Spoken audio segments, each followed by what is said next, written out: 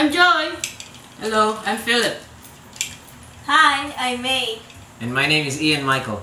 If you're wondering what we're doing, we're setting up a Yagi Uda antenna, and we're going to teach you how. But first, I'm going to tell you a thing or two about a Yagi Uda antenna. A Yagi Uda antenna, commonly known as a Yagi antenna, is a directional antenna consisting of multiple parallel elements in a line, usually half-wave dipoles made of metal rods. Yagi Uda antennas consist of a single driven element connected to the transmitter or receiver with a transmission line and an additional parasitic elements, a so-called reflector, and one or more directors. It was invented in the 1926 by Shintaro Uda of Tohoku Imperial University, Japan, and with a lesser role play by his colleague Hidetsu Yagi. So how did we set up our antennas? Here's what we did. First, we needed the following materials.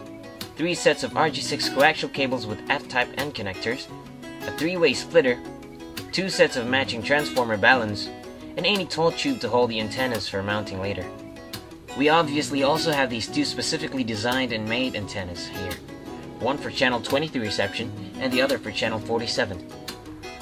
First thing that we did was to attach coaxial cables to the two matching transformer type baluns already attached to the antennas as well.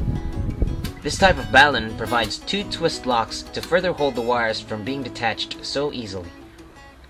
Let's take a closer look on how to properly lock and seal the coaxial cable to the matching transformer type balun.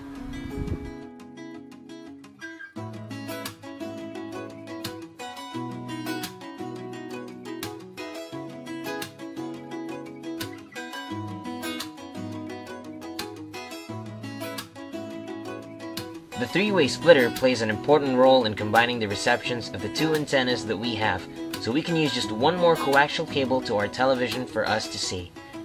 What you're gonna want to do next is to attach the coaxial cables of each antennas to the splitter, making sure that it's completely locked and sealed.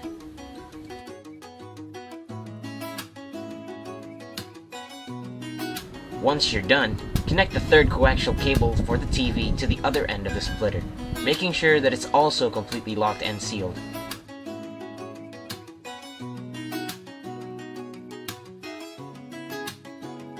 Lastly, insert the other end of the coaxial cable to the TV, and you're all set.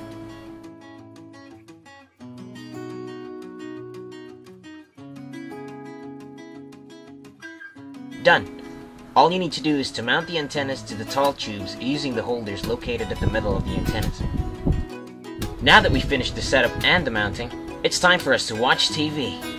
Do take note that a Yagi antenna is a directional type of receiver, so for us to properly obtain better reception, we need to adjust the facing of our antennas outside until we can get a clearer reception. Let's go try channel 23.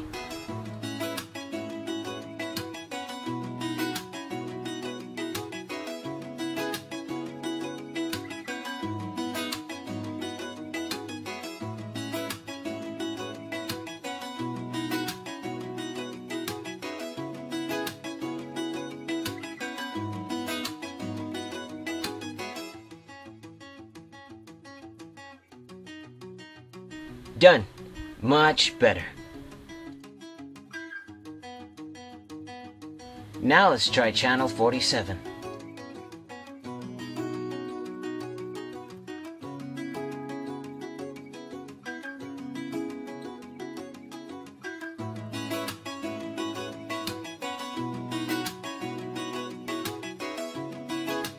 Channel 47 was a little tricky, but we managed to find out the right signal in the end.